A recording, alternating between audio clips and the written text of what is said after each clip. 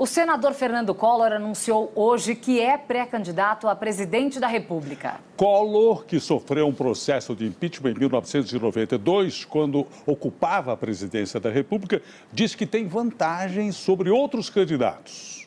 Parecia até comício. Foi em frente a um diretório municipal que o anúncio foi feito.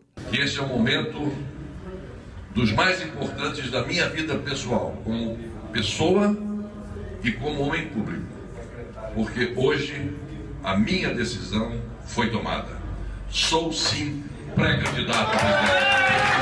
Obrigado e vamos à vitória. O clima de campanha continuou em entrevista à Rádio Gazeta de Arapiraca, do interior de Alagoas. Eu tenho uma vantagem sobre alguns outros candidatos, porque eu já presidi o país. Então, o meu programa de governo todos conhecem, sabem o modo como eu penso. Fernando Collor foi o primeiro presidente eleito após o regime militar. Teve 35 milhões de votos em 1989. Minha gente amiga do Brasil!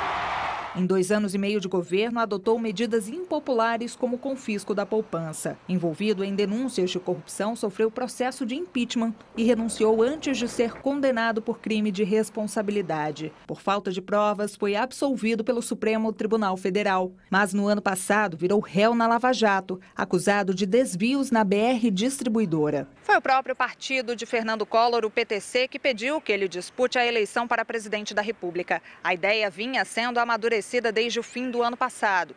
O SBT conversou com o presidente da legenda. Para Daniel Tourinho, o Brasil está órfão de bons nomes na política. E Collor pode ir para o segundo turno.